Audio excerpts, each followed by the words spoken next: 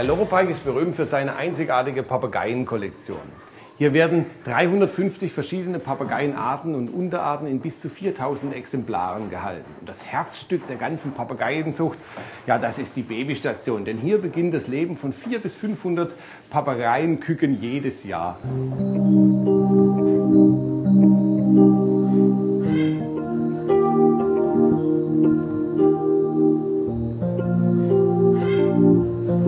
Dieser kleine zehntägige Ara hat die Augen nach wie vor geschlossen. Das dauert noch ein paar Tage, vielleicht vier, fünf Tage. Dann wird er erst eigentlich das Licht der Welt erblicken und seine Augen langsam öffnen. Aber derzeit hat er erstmal noch Hunger und jetzt kriegt er auch was zu fressen.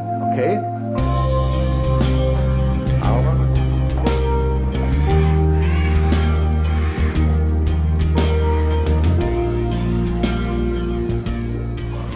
So, der Kleine ist gefüttert und was wir jetzt ganz schön sehen können, ist, dass dieser Kropf, das Futterreservoir voll ist und von diesem Kropf wird jetzt das Futter weitergegeben in den Vormagen und in den Magen, wo es dann verdaut wird.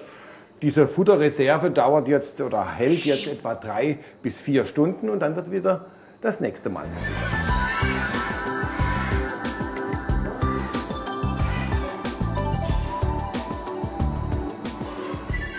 Ja, und hier haben wir zwei weitere Küken. Das ist die gleiche Art des Blaukopfaras oder auch Gebirgsaras genannt. Die sind schon ein bisschen älter und haben schon die Augen offen. Die haben jetzt etwa 20 Tage.